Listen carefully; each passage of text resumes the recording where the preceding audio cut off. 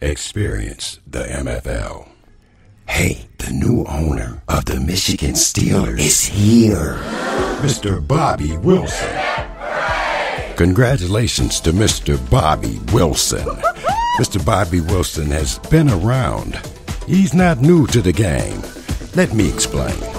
Mr. Bobby Wilson attended and played college football at Michigan State University. Selected in the first round in the NFL draft in 1991 by the Washington Redskins. Mr. Bobby Wilson, the new owner of the MFL's Michigan Steelers.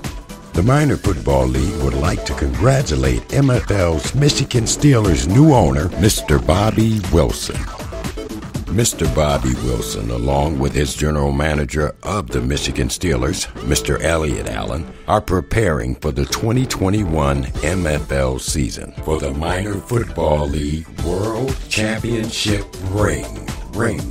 There will be a limited amount of season tickets available for the Michigan Steelers 2021 season. Each season ticket admits four people, a family, for all five home games for just $100. There's more information available just by following us. To experience the MFL, follow us on social media.